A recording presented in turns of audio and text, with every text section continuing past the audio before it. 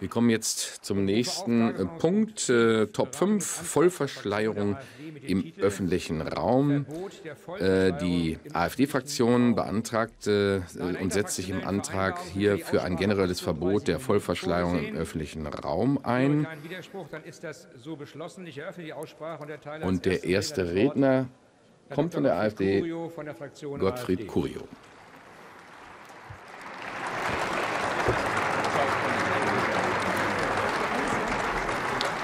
Sehr geehrter Herr Präsident, sehr geehrte Abgeordnete, die AfD fordert das Verbot der Vollverschleierung im öffentlichen Raum.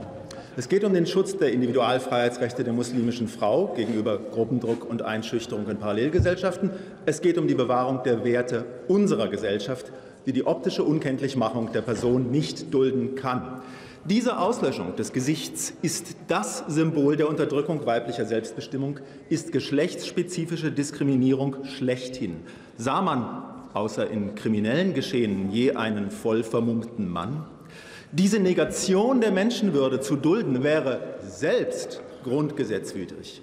Die Menschenwürde nämlich verbietet, den Menschen zum bloßen Objekt zu machen, seine Subjektqualität, sein Personsein in Frage zu stellen. Kann man jemandem nicht ins Gesicht schauen, wird ein integraler Teil des sozialen Menschseins entfernt, ja vernichtet.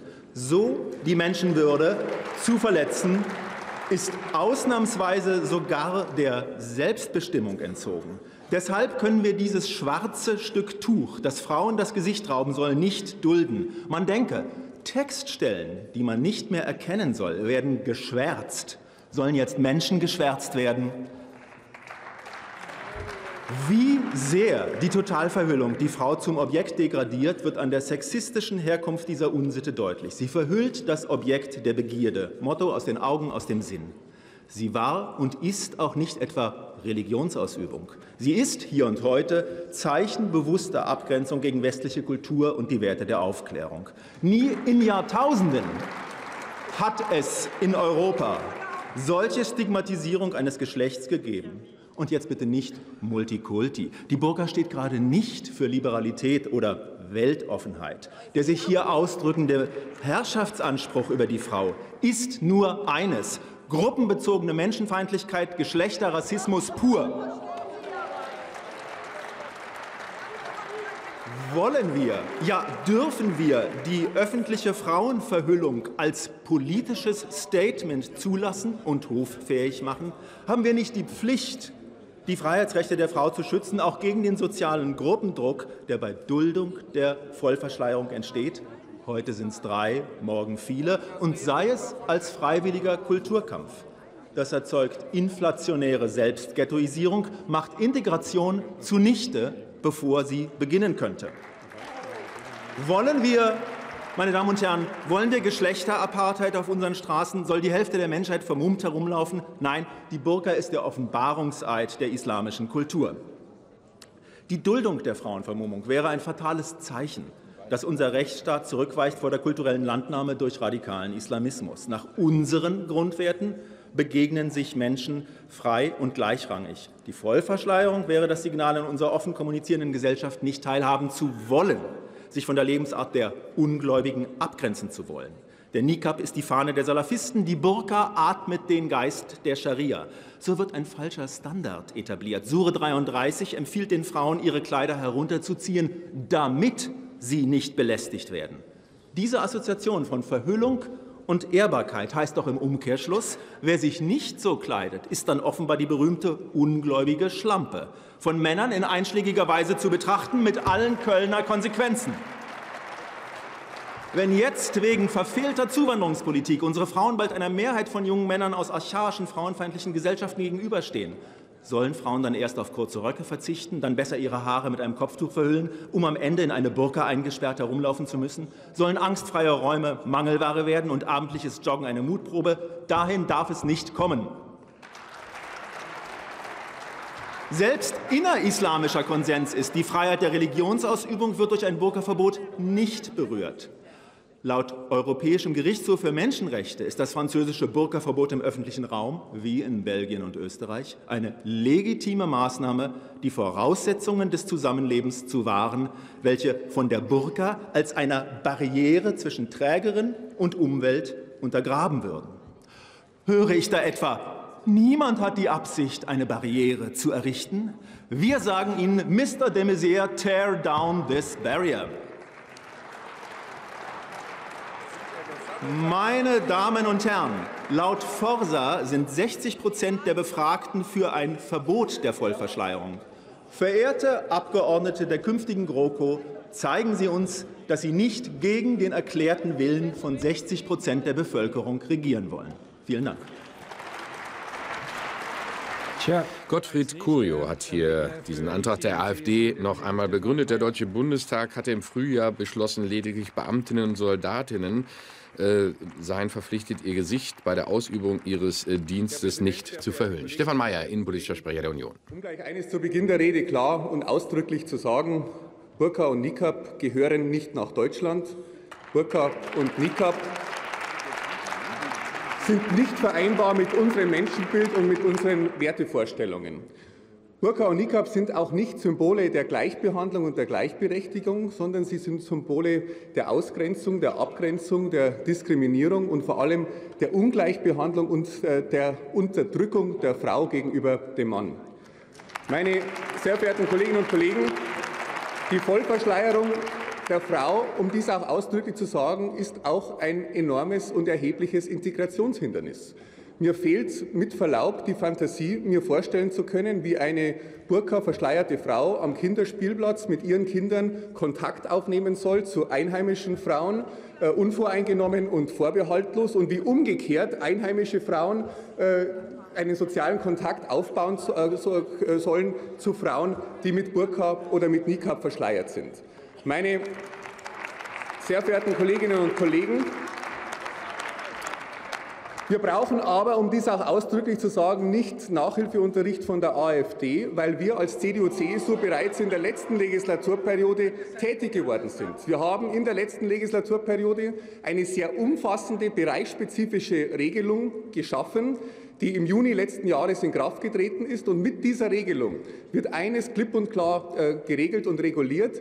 Es dürfen Beamtinnen und Soldatinnen nicht vollverschleiert ihren Dienst ausüben. Sie dürfen keine Sie dürfen vollverschleiert keine Tätigkeit ausüben, die Bezug hat zum äh, Dienst. Und was auch sehr wichtig ist, und das gilt sowohl für Einheimische als auch für Menschen, die in der jüngsten Zeit zu uns gekommen sind, wenn es um Lichtbilder geht, die angefertigt werden für Legitimationspapiere, für Pässe, aber auch beispielsweise für Identitätspapiere von Flüchtlingen, dürfen diese Lichtbilder nicht vollverschleiert vorgenommen werden. Meine sehr verehrten Kolleginnen und Kollegen, wir haben umfassend von dem Regelungsgebrauch äh, von der, von der Regelungsmöglichkeit Gebrauch gemacht als Deutscher Bundestag, die sich uns nun mal gibt. Und vor dem Hintergrund möchte ich auch eines klar sagen, weil die Regelungen in Frankreich, in Österreich oder in Belgien äh, genannt wurden. Wir haben ein Grundgesetz und eine Verfassung und an die sind wir gebunden. Und ich muss schon sagen, ich habe mit Verlaub äh, schon Schwierigkeiten und ich finde es äh, mit Verlaub auch sehr merkwürdig, dass insbesondere eine Partei, die immer wieder peinlichst Wert darauf legt, dass wir uns an Recht und Gesetz zu halten haben, dass sich die Bundesregierung an die Rechtsordnung, an die Verfassung zu halten hat, dass diese Partei einen Antrag stellt, der zum Gegenstand hat, dass wir eine himmelschreiend verfassungswidrige Regelung in Kraft setzen würden. Meine sehr verehrten Kolleginnen und Kollegen, es ist nun mal so, dass die Religionsfreiheit nach Artikel 4 Grundgesetz ein Kernpfeiler unserer Verfassung und unserer Freiheitsrechte ist, die entsprechend auch äh, zu achten sind. Und wir werden deshalb, um dies auch klar zu sagen, als CDU-CSU all das tun, was rechtlich möglich und rechtlich vertretbar ist, um auch in weiteren Tatbeständen die Vollverschleierung zu unterbinden. Aber wir werden nicht sehenden Auges eine verfassungswidrige Regelung in Kraft setzen. Und deshalb, meine sehr verehrten Kolleginnen und Kollegen, möchte ich auch klar davor warnen, hier Scheindebatten zu führen. Wir tun sehr viel, um Menschen in unser Land zu integrieren, die neu zu uns gekommen sind. Aber um dies auch klar zu sagen, wir haben auch klare Erwartungen. Und die klare Erwartung ist, dass man sich nicht nur an Recht und Gesetz hält, sondern dass man auch unsere Bräuche, unsere Traditionen und unsere Geflogenheiten zu achten weiß. Und um dies auch ausdrücklich zu sagen, die Kommunikation in einer pluralen und in einer offenen Gesellschaft wie der unsrigen ist aus meiner Sicht nur möglich, wenn man im wahrsten Sinne des Wortes Gesicht zeigt. Und deshalb bin ich auch unserem Bundesinnenminister Dr. Thomas de Maizière sehr dankbar, dass er klar gemacht hat, dass Deutschland nicht, äh, dass, dass die Burka nicht zu Deutschland gehört. Und vor dem Hintergrund äh, möchte ich auch ausdrücklich darauf hinweisen, dass wir gesellschaftspolitisch hier eine klare, einen klaren Kurs fahren, dass wir aber beileibe nichts unternehmen werden, was nur im entferntesten eine verfassungswidrige Regelung beinhaltet. Meine sehr verehrten Kolleginnen und Kollegen, ich warne davor, hier Scheindebatten zu führen. Wir sollten uns mit den tatsächlichen Problemen unseres Landes beschäftigen. Wir sind bereits tätig geworden in der letzten Legislaturperiode. Das ist der AfD vielleicht äh, nicht richtig äh, aufgefallen. Es hat ja auch, das darf ich zum Abschluss auch sagen, sehr lange gedauert, bis Sie mit diesem Antrag dann erst äh, ums Eck gekommen sind. Erst vor einem Tag ist dieser Antrag, der ja schon lange Zeit angekündigt war, tatsächlich dann auf unseren Schreibtischen gelandet, was aus meiner Sicht auch zeigt, dass Sie sich selbst auch sehr schwer getan haben mit der Formulierung Formulierung Ihres Antrages. Die CDU-CSU wird diesem Antrag, um dies klar zu sagen, die Ablehnung erteilen. Herzlichen Dank, Herr Kollege Mayer. Als nächste die Kollegin Esther Dilcher für die SPD, und es ist ihre erste Parlamentsrede.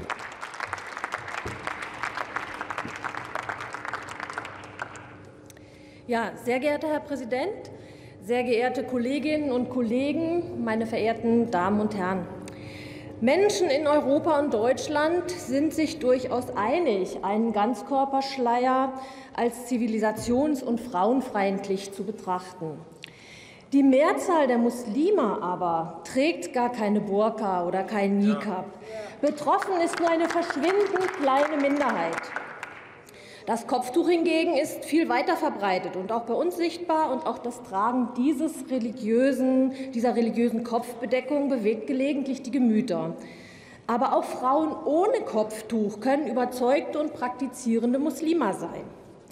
Der Vorsitzende der türkischen Gemeinde in Deutschland, Herr Sofuglu, äußerte hierzu, es sei besser, auf die Moscheegemeinden einzuwirken, statt Verbote zu erlassen. Warum äußert er das? Warum hat er damit auch recht? Der EuGH, also der Europäische Gerichtshof, wie auch schon zitiert, hat die Verbote der Vollverschleierung in Belgien und Frankreich bestätigt. Aber trotzdem ist gerade in diesen Ländern die Zahl der Burka- oder Nikab-Trägerinnen keineswegs zurückgegangen und auch nicht rückläufig. Und die Terrorgefahr ist seit diesem Erlass der Gesetze in diesen Ländern sogar noch gestiegen. Es gibt daher den von Ihnen dargestellten kausalen Zusammenhang keineswegs. Aber unsere Gesellschaft wird weiter gespalten und Hass auf alles Fremde weiter geschürt. Der vorliegende Antrag wird mit dem Schutz der Individual- und Freiheitsrechte, der inneren Sicherheit und dem staatlichen Ziel der Sicherheit des gesellschaftlichen Zusammenlebens begründet. Dieses Ziel wird mit dem Verbot der Vollverschleierung jedoch gerade nicht erreicht, wenn wir in unsere Nachbarländer gucken. Liebe Kolleginnen und Kollegen, hier schleicht ein Wolf im Schafspelz durch unser Hohes Haus. Motiviert ist der Antrag nämlich nicht aus den aufgeführten Gründen, sondern wie die Antragsteller in der Presse bereits lanciert haben, da lag der Antrag nämlich schon vor, bevor wir den auf den Schreibtischen hatten, und wie es auch eben bestätigt worden ist, als Maßnahme gegen die kulturelle Landnahme. Diese Begrifflichkeiten sind uns auch schon bekannt, und zwar aus einer Zeit, die mehr als 60 Jahre oder 70 Jahre zurückliegt. Sehen Sie wirklich eine Gefahr für unser Land durch 300 Muslime? Es geht hier nämlich einmal mehr darum, den Islam in Deutschland zu stigmatisieren. Die Mütter und Väter unseres Grundgesetzes haben aufgrund der selbst erlebten Geschichte und den Erfahrungen mit nationalsozialistischem Gedankengut ganz zu Recht in unserem Grundgesetz formuliert. In Artikel 1, die Würde des Menschen ist unantastbar. Ganz bewusst wird nicht auf die Würde der Deutschen abgestellt. Und in Artikel 4 Grundgesetz wird die Freiheit des Glaubens als unverletzlich festgestellt und die ungestörte Religionsausübung gewährleistet. Jetzt fragen wir uns, wenn wir tatsächlich eine Gefahr für unsere innere Sicherheit sehen, wie können wir diese gewährleisten? Wie können wir tatsächlich die Unterdrückung muslimischer Frauen verhindern? Und wie können wir unser Zusammenleben sichern? Mit Sicherheit nicht mit Verboten, die diese verschwindend geringe Minderheit von Frauen weiter ins Abseits stellt und ausgrenzt, sondern durch Angebote zur Integration, durch Kommunikation und durch Respekt vor dem Fremden und durch Solidarität in der Gemeinschaft und durch Toleranz. Meine Würde als Mensch gebietet es mir, solchen Anträgen die auf Diffamierung und Hetze ausgerichtet sind, entgegenzutreten und nicht weiter zu unterstützen. Wie können wir sonst sicher sein, dass wir nicht selbst irgendwann zu den Minderheiten gehören, die nicht in das nationale Gedankengut der AfD passen und gegen die sich dann die Angriffe richten? Vielen Dank, meine Damen und Herren. Herzlichen Dank, Frau Kollegin Dilcher. Esther Dilcher von der SPD, also mit ihrer ersten Rede. Das werden wir noch ein paar Mal in den nächsten Tagen auch erleben. Hier Vollverschleierung im öffentlichen Raum, ein Antrag äh, der AfD. Nächste Rednerin Katrin Helling-Pla von der FDP. Sehr geehrter Herr Präsident, meine Damen und Herren! Frauen sind dazu da, ihre Pflichten im Haus zu erfüllen. Nur in dringenden Notfällen dürfen sie das Haus verlassen. Dann aber müssen sie verschleiert sein zitiert Friedensnobelpreisträgerin Malala in ihrem Buch aus einer der Radiopredigten des pakistanischen Taliban-Chefs. Meine Damen und Herren von der AfD, Sie geben vor, mit Ihrem Antrag zuvorderst muslimischen Frauen helfen zu wollen. Sie wollen uns aber doch wohl nicht weismachen, dass die Männer, die ihre Frauen und Töchter bisher dazu zwingen, das Haus nur voll verschleiert zu verlassen, dann künftig plötzlich der Auffassung sein würden, Ihre bisherige Auslegung des Koran gehe fehl. Sie und Ihre Familien hätten über Jahrhunderte geirrt. Oder wollen Sie uns glauben machen, dass diese Männer aufgrund eines entsprechenden Verbots bereit wären, gegen die jedenfalls von Ihnen so verstandenen Gebote ihrer Religion zu verstoßen? Es ist doch offenkundig, was passieren würde, wenn Ihr Antrag Erfolg hätte. Frauen, die bisher von ihren Männern und Familien gezwungen werden, das Haus nur voll verschleiert zu verlassen, dürfen das Haus künftig gar nicht mehr verlassen. Sie helfen den Frauen also nicht, sondern sie rauben ihnen das letzte bisschen Freiheit und das letzte bisschen Teilhabe an unserer Gesellschaft. Sie verstellen ihnen auch noch den durch ihren Schleierschlitz möglichen kleinen Einblick in eine Welt, in der Frauen anders leben. Das wissen Sie von der AfD-Fraktion auch. Also lassen Sie uns das Deckmäntelchen des Gutmenschentums dass Sie versuchen, über Ihr Vorhaben zu stülpen, doch mal abnehmen. In Wahrheit ist es Ihnen doch ganz recht, wenn diese Frauen künftig zu Hause bleiben. Immerhin führt das in jedem Fall dazu, dass Sie sie nicht sehen müssen. Und im Ansatz kann ich das sogar verstehen. Auch mich befremdet der Anblick einer Frau in Burka oder Nikab zutiefst. Aber wenn wir nicht wollen, dass sich unsere Gesellschaftsordnung derjenigen unfreier Länder annähert, wenn wir weiter in einer modernen, offenen und toleranten Gesellschaft leben wollen, dann müssen wir an der Stelle, an der das Gefühl der Befremdung in uns aufsteigt, unseren Verstand anschalten. Nicht alles.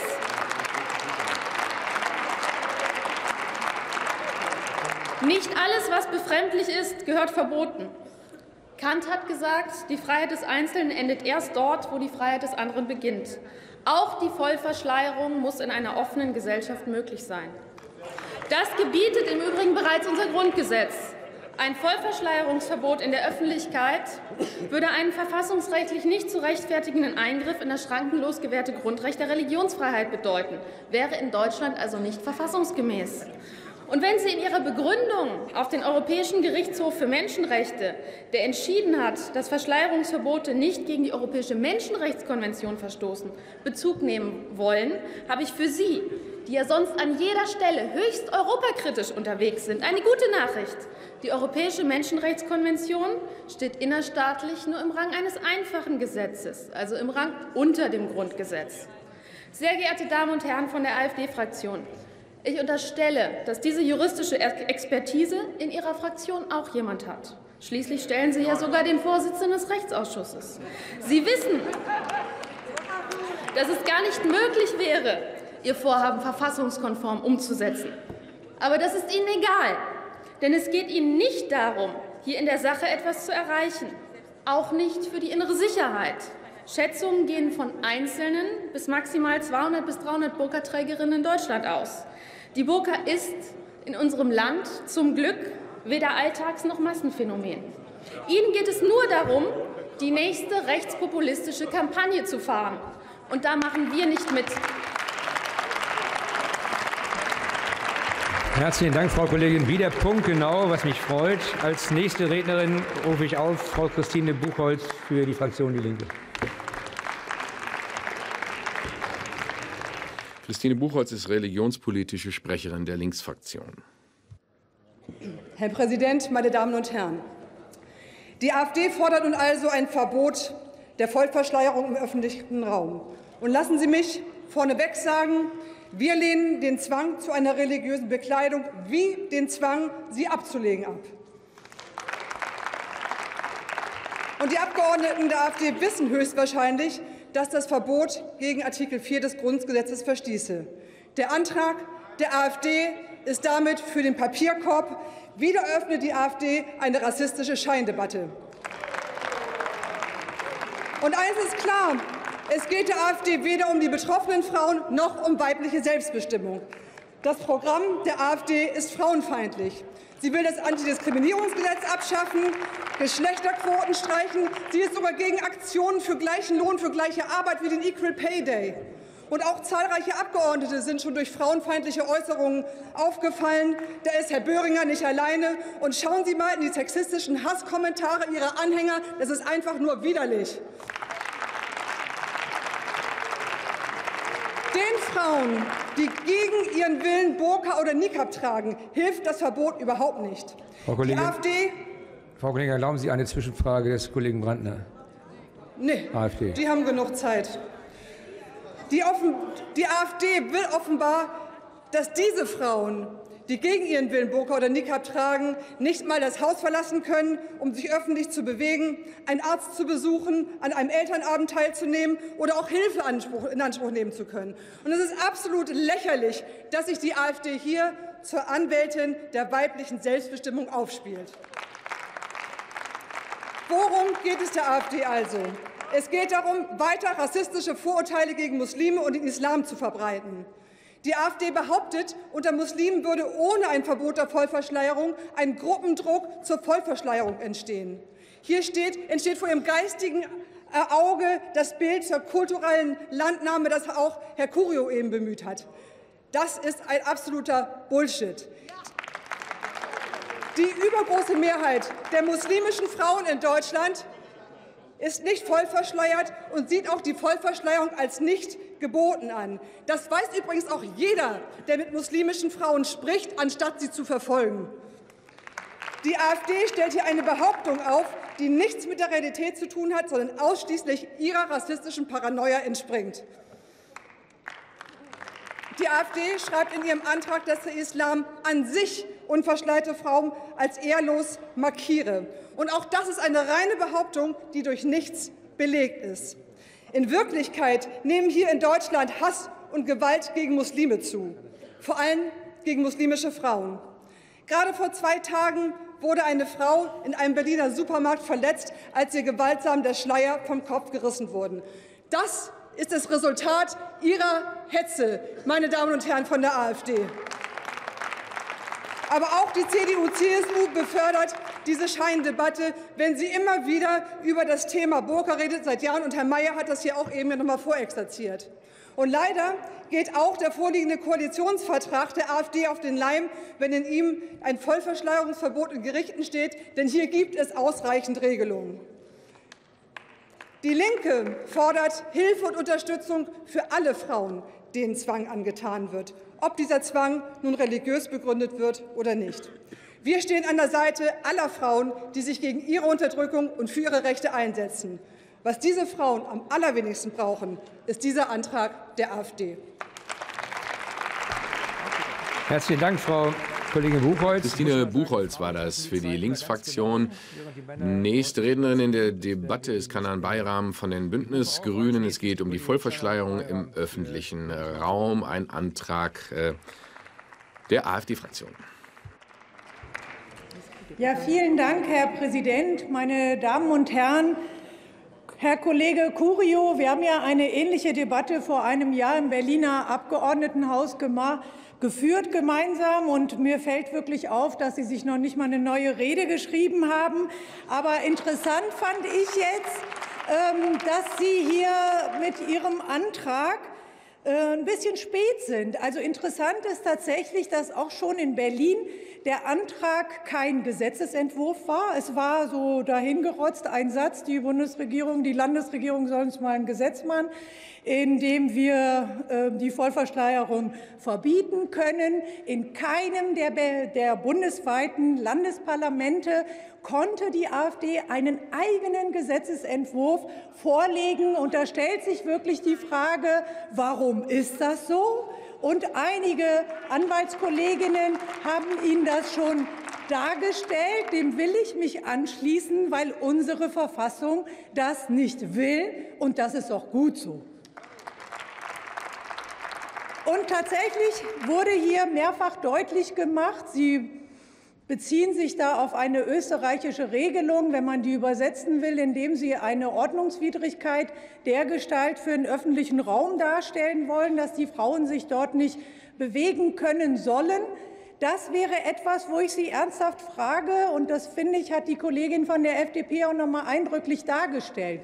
Wollen Sie dasselbe machen wie die Taliban? Wollen Sie den Frauen, denen verboten wird, sich zu bewegen, wenn sie keinen Schleier tragen? Wollen Sie denen verbieten, sich zu bewegen, weil sie einen Schleier tragen? Das kann doch nicht Ihr Ernst sein, und dagegen sind wir eindeutig. Ja, Frau von Storch, ich höre Sie sogar, dass wir die Männer in die Verantwortung nehmen müssen. Und ich interpretiere das mal so, dass Sie sagen, wenn Sie die Frauen unterdrücken. Aber das steht doch alles schon in unseren Gesetzen und das gilt für alle Männer, die ihre Frauen unterdrücken, egal aus welchem Grund sie ihre Frauen unterdrücken.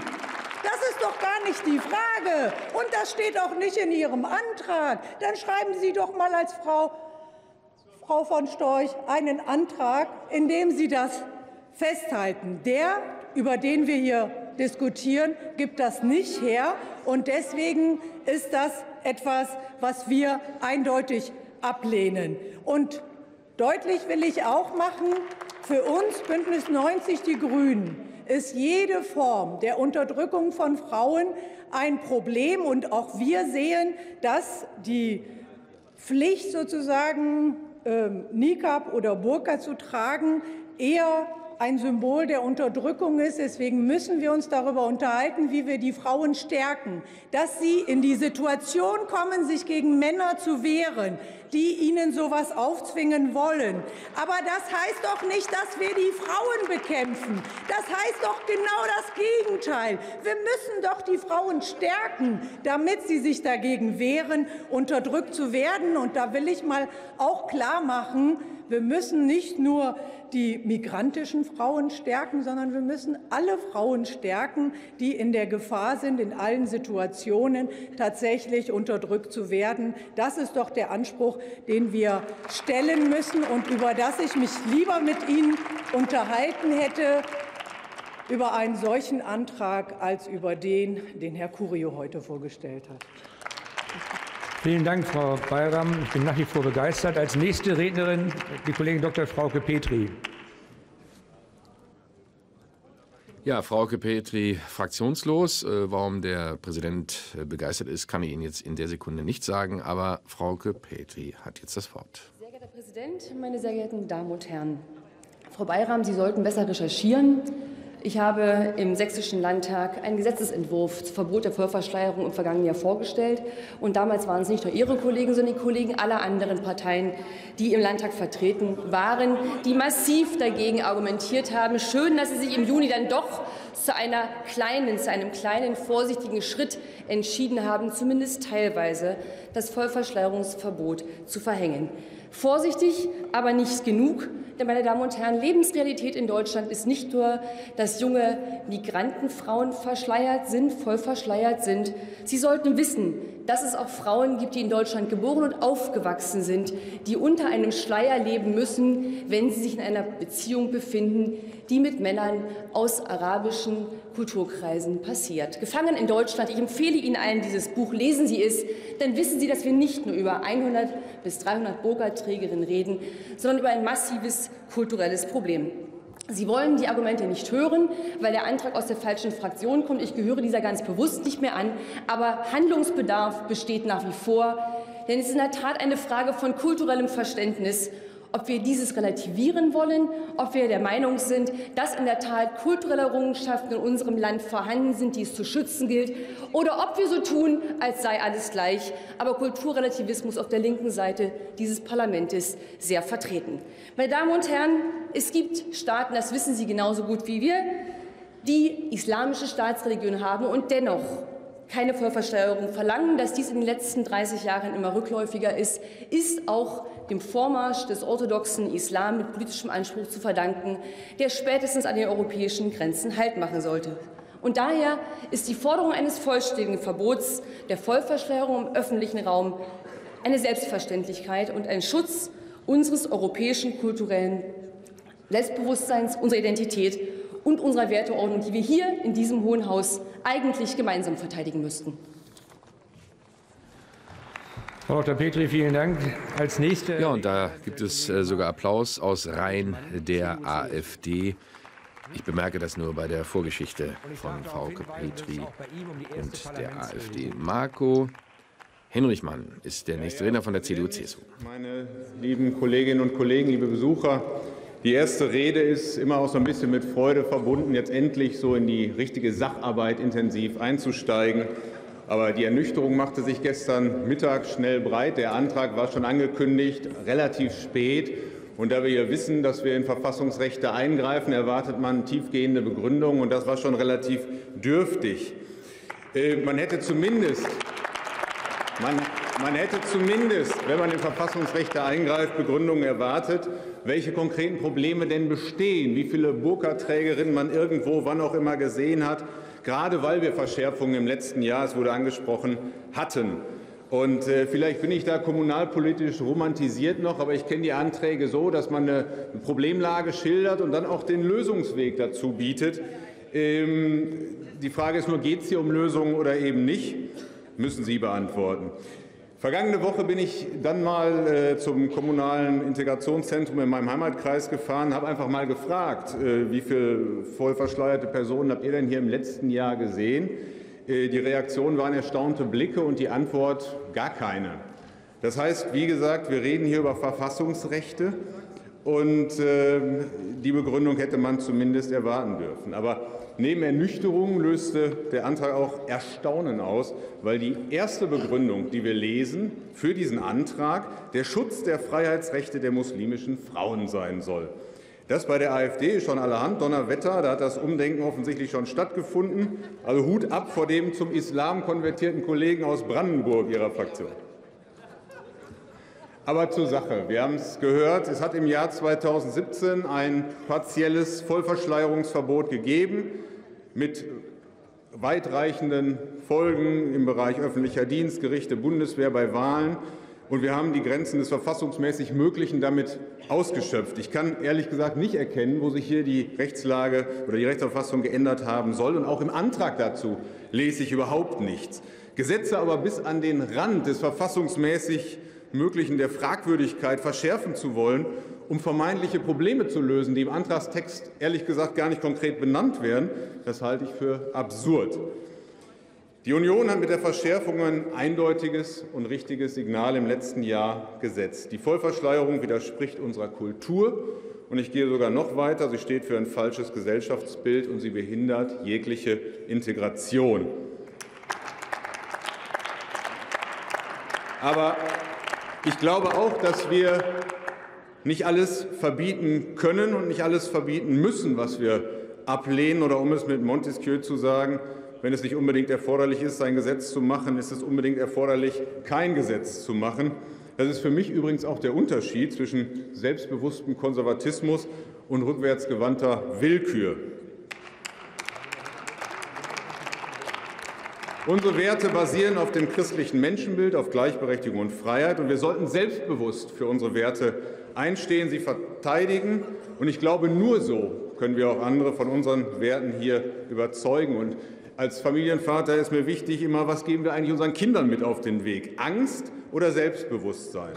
Haben wir Angst vor einer Handvoll, und das geben ja alle, alle Studien zu dem Thema her, haben wir Angst vor einer Handvoll äh, ausländischer Touristinnen aus den Golfstaaten, die in, in Burka hier äh, sich unserer Werte bemächtigen? Ich glaube, das müssen wir nicht haben. Der Antrag, den wir heute vorgelegt bekommen, ist angstgesteuert, setzt auf Willkür. Aber Willkür, das war angesprochen, kann schnell jeden treffen. Und deswegen sollten wir auf der Grundlage unseres Menschenbildes Politik machen und nicht auf dem Rücken Einzelner. Ich will gar nicht verhehlen, dass es Probleme gibt bei Sprache, bei Integrationskursen, Handlungsbedarf. In Deutschland muss der Rechtsstaat durchgesetzt werden. Deswegen treten wir für ein Musterpolizeigesetz, für mehr Polizei, eine starke Justiz ein. Und wir müssen auch den Dialog mit den Islamverbänden vielleicht anders und ganz offensiver führen, als wir das bislang getan haben. Und ich rufe die gemäßigten Vertreter auch ausdrücklich auf, sich an der Debatte zu beteiligen. Wir können keinen isolierten und keinen radikalen Islam in den Hinterhöfen unserer Städte akzeptieren. Aber hier geht es Ihnen nicht um den kritischen Dialog oder um Lösungen. Sie schüren Ängste, das ist Ihre Existenzberechtigung. Schlussbemerkung, ich bin es ehrlich gesagt ein bisschen leid. Dieses Ping-Pong haben wir die letzten Tage jetzt erlebt hier im Hohen Haus. Immer wenn es um Islam und Integration geht, kommt aus dem linken politischen Spektrum schnell die rosarote Brille und auf der anderen Seite Verbitterung und Schaum vorm Mund. Ich glaube, es bringt keinem was, wenn wir die Bracken und die Mauern hochfahren und uns gegenseitig mit Schmutz beschmeißen. Die Wahrheit liegt wie so oft in der Mitte. Wir stehen für die Partei der Mitte. Uns treibt das Vertrauen an in die Stärke und das Selbstbewusstsein Deutschlands und seiner Menschen hier. Vielen Dank. Herr Kollege Hendrich, mein herzlichen Dank für Ihren Beitrag. Den, die Zeit haben Sie etwas überschritten. Ich möchte darauf hinweisen, dass bei einer ersten Rede parlamentsüblich keine Zwischenfragen zugelassen werden, um den Redner nicht äh, aus dem Konzept zu bringen. Und äh, Herr Kollege Baumann ist an mir was vorübergegangen. Ich habe nur gesehen, dass Ihre Fraktion schlagartig mit mehreren Personen den Saal verlassen hat. Nicht, dass das Präsidium hier irgendwas nicht bekommen hat. Gut. Dann äh, rufe ich auf als äh, nächsten Redner den Kollegen Dr. Karl-Heinz Brunner von den Sozialdemokraten. Ja, Wolfgang Kubicki sehr aufmerksam und besorgt, zumindest äh, was die Frage angeht, was die AfD bewogen hat, in größerer Zahl den Saal zu verlassen. Aber es sind noch viele AfDler hier. Nächster Redner, also Heinz Brunner für die SPD. Dass die AfD heute Genderpolitik mit uns betreiben will, verwundert mich schon etwas. Aber dass diese Genderpolitik dann sich in einem Antrag auf Vollverschleierung widerspiegelt, der eher der Verschleierung ihrer eigenen Ziele als der Entfernung eines Grauschleiers über der Politik dient, zeigt sich dann. Ich, meine sehr verehrten Damen und Herren, liebe Kolleginnen und Kollegen, komme, wie Sie wissen, aus Bayern, wo man ja sagt, die Welt ist noch in Ordnung, im Winter sei es kalt, im Sommer warm, zumindest meistens. Und was wir immer haben in Bayern, Menschen, die gerne zu uns kommen.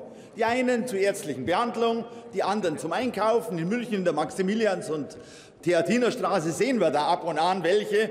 Wieder andere, um die Schönheiten Neuschwansteins zu sehen und dann entweder mit Burka oder der Gesichtsmaske als Japaner den Berg raufzuhecheln. Die meisten aber wegen der Gastfreundschaft unserer Weltoffenheit. Und das ist, meine sehr verehrten Damen und Herren, liebe Kolleginnen und Kollegen, nicht selbstverständlich. Deshalb haben wir unsere Verfassung, unsere Grundwerte, unser Grundgesetz und das, was uns wirklich wichtig ist weil wir nicht nur wie die Österreicher mit Verwaltungsübertretung verzwergte Rohrkrepierer schaffen wollen oder wie die Letten so homöopathische Wirkung für fünf, fünf oder sechs Personen umsetzen wollen, sondern weil wir in Deutschland verstehen, dass Menschen auch Angst haben, Angst haben davor, dass sich vielleicht unter der Burka, unter dem Nikab oder was auch immer etwas Verbotenes verbergen kann. Und wir wissen auch, und das wissen wir alle, dass Terrorismus nicht vor Kleiderordnungen Halt macht, dass er nur durch beherztes Vorgehen der Sicherheitskräfte verhindern kann. Und das machen wir und das haben wir in der Großen Koalition gemacht und das machen wir auch weiterhin. Und was uns, meine sehr verehrten Kolleginnen und Kollegen, auch wichtig ist, dass Frauen die gleichen Rechte wie Männer haben. Ohne Einschränkung, ohne Zwang und ohne gesellschaftlichen Druck. Und deshalb will ich, dass Frauen so frei leben können, wie sie wollen dass sie selbst entscheiden, mit wem, wann, wo und wie sie ihr Leben gestalten und wie sie leben, dass sie selbst entscheiden, was sie anziehen, was ihnen gefällt, dass sie gerne, wenn sie es wollen, auf ihrem Dekolleté ein Kreuz, den Davidstern oder den Halbmond tragen. Frauen aber auch, die sich vor Blicken schützen wollen, sollen sich auch vor Blicken schützen können. Und zwar so, wie sie es wollen, wie sie aber nicht unsere Rechtsordnung beeinträchtigen. Dazu brauchen wir Regeln, Regeln gegen Ungleichbehandlung, Regeln für Chancengleichheit, Regeln für gleichberechtigte Teilnahme am gesellschaftlichen Leben, vielleicht Quoten, vielleicht Equal Pay. Ja, Equal Pay brauchen wir dazu auch. Wir brauchen Teilnahme am Leben in unserem gesellschaftlichen Deutschland. Und was wir nicht brauchen, meine Kolleginnen und Kollegen, ist ein Verbot der Vollverschleierung, denn er ist irrelevant, er hat mit der Wirklichkeit nichts zu tun.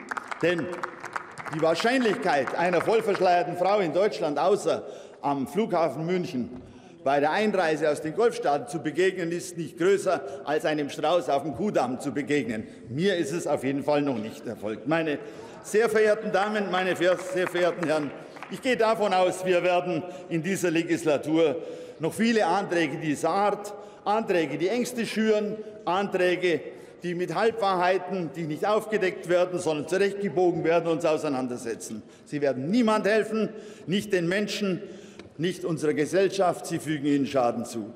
Sie werden sich gegen religiöse Gruppen, gegen Homosexuelle, gegen ausländische Mitbürger, gegen Flüchtlinge, gegen Minderheiten, gegen, gegen, gegen wenden. Aber es sind immer nur platte Symbole, die unsere Zukunft nicht besser machen, sondern die einfach nur Schuld zuweisen und keine Verantwortung übernehmen. Worum es aber geht, ist, wir müssen in die Köpfe und die Herzen der Menschen. Wir müssen aber nicht in die Kleiderschränke. Vielen Dank. So, meine Damen und Herren, zum Top 5 Vollverschlagung im öffentlichen Raum. Jetzt der letzte Redner. Philipp Amthor für die CDU-CSU-Bundestagsfraktion. Äh, er ist ja einer der jüngsten Abgeordneten mit 25 Jahren, der jüngste, der einen Direktwahlkreis errungen hat. Äh, Philipp Amthor für die CDU-CSU-Fraktion. Ja, Frau Präsidentin, liebe Kolleginnen und Kollegen, um das noch mal ganz deutlich zu sagen. Die CDU-CSU-Bundestagsfraktion hat sich dafür eingesetzt, die Vollverschleierung im öffentlichen Raum zu begrenzen. Und wir werden das auch fortsetzen. Das ist vereinbart mit den Sozialdemokraten, und dafür setzen wir uns ein. Und wir wollen das alles aber verfassungskonform tun. Und dem wird einfach der Antrag der AfD nicht gerecht. Also, bevor ich dazu komme, will ich aber hier, weil das in der Debatte bisweilen unterging, überall, wo es rechtlich möglich ist, werden wir uns der Vollverschleierung entgegenstellen. Einfach deshalb, weil wir fest überzeugt sind, dass Burka und Nikab in keiner Weise unserer Vorstellung von einem Rechtsstaat und von einer deutschen Wertekultur entsprechen. Und ich sage das hier ausdrücklich. Die Religionsfreiheit gehört zu Deutschland, aber der politische Islam, der gehört nicht zu Deutschland und dagegen werden wir uns wenden. Und überall dort, wo der politische Islam versucht, unsere offene Lebensweise zu beschränken, da werden wir ihm die Härte des Rechtsstaats entgegenhalten. Und da sind mir auch die Zahlen, egal wie wenige das sind, das wird es mit uns nicht geben. Und dann aber, dann aber in Richtung jetzt der AfD, bevor Sie sich zu früh freuen. Wissen Sie, wenn wir von den Moslems verlangen, dass die sich an unsere Regeln halten, tun wir selbst auch gut daran, uns an unsere eigenen Regeln zu halten. Und Sie wissen vielleicht, mit Ihrem Vorschlag operieren Sie ganz deutlich im sensiblen, im grundrechtssensiblen Bereich der Religionsfreiheit. Und ich kann Ihnen nur die Empfehlung geben, wenn Sie da operieren, sollten Sie auch Ihr OP-Besteck kennen. Und es ist ja nicht nur so, es ist nicht nur so, dass Sie den Vorsitzenden des Rechtsausschusses stellen, sondern ein Viertel Ihrer Fraktion sind Juristen. Diese Expertise findet sich in dem Antrag in keiner Weise wieder, sondern der Antrag ist mit heißer Nadel gestrickt und ganz ehrlich, er strotzt von von falschen Behauptungen. Und das fängt schon an mit dem Schutzbereich der Religionsfreiheit. Sie behaupten, Burka tragen unterfällt nicht im Schutzbereich der Religionsfreiheit. Wissen Sie, ich finde das auch nicht toll, aber die ständige Rechtsprechung des Bundesverfassungsgerichts und sogar das EGMR-Urteil, das Sie zitieren, sagt, die Religionsfreiheit schützt auch das Burka tragen im Schutzbereich. So, erster Fehler. Zweiter Fehler. Natürlich kann man äh, Eingriffe in den Schutzbereich der Religionsfreiheit rechtfertigen, aber nach ständiger Rechtsprechung eben nur durch kollidierendes Verfassungsrecht. Und dazu führen Sie substanziell gar nichts aus, sondern das, was Sie hier behaupten und das, was Herr Curio behauptet hat, ist grober Unfug. Ja? Nehmen wir mal das Beispiel Menschenwürde. Die Menschenwürde ist eben kein Zwangskorsett. Um das ganz deutlich zu sagen, also ich finde eine Burka ziemlich unwürdig und ich finde es unwürdig, dass die Frauen sich dadurch auch zum Objekt machen lassen. Herr Kollege, Aber, schnell, ganz, ganz schnell, erlauben Sie möglicherweise eine Zwischenfrage oder Bemerkung vom Kollegen äh, Nolte aus der AfD-Fraktion? aber sehr gern, Herr Nolte. Herzliche Einladung. Herr Kollege, Sie reden hier viel über die Verfassung. War die Aufgabe der Grenzkontrollen durch die CDU verfassungskonform und war die Homo-Ehe verfassungskonform?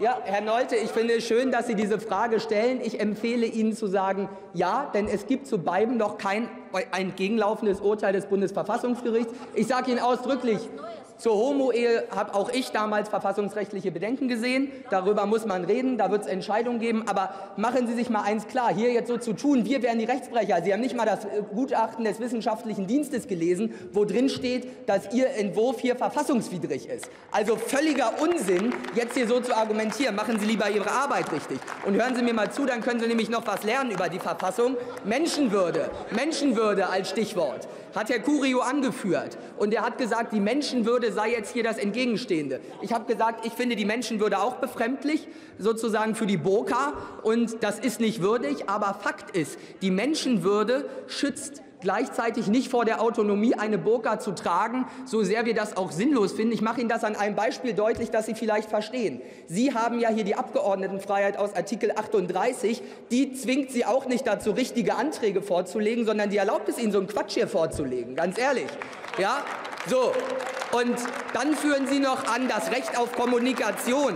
Auch das ist absoluter Blödsinn. Wenn Sie sich da auf den EGMR stützen, kann ich Ihnen nur empfehlen, wenn Sie nicht schon, vielleicht hätte mal einer Ihrer Referenten das EGMR-Urteil gelesen. Da gibt es nämlich am Ende des Urteils ein Sondervotum der Richterin Angelika Nussberger, unsere deutsche EGMR-Richterin, die sagt, dass dieses Recht auf Kommunikation verfassungsdogmatisch schief ist. Hätten Sie mal zur Kenntnis nehmen können und offene Kommunikation ist sonst auch nicht Ihre Stärke, wenn Sie Ihre Parteitage verhüllen und sagen, da sind keine Journalisten zugelassen. Ganz, Ganz Sekunde, Sekunde, so. Sekunde, Sekunde, Sekunde, Sekunde.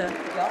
Äh, es gibt noch mal eine Zwischenfrage. Wollen Sie die zu? Gerne, gerne. Es gibt so viele Punkte, die ich hier aufarbeiten kann. Machen Sie weiter. Ja, es gibt trotzdem auch für Sie die Redezeit. Aber die, gut, jetzt haben Herzliche Sie die Zwischenfrage Einladung. noch zugelassen. Ja, vielen Dank, Herr Amthor, für das Zulassen der Zwischenfrage.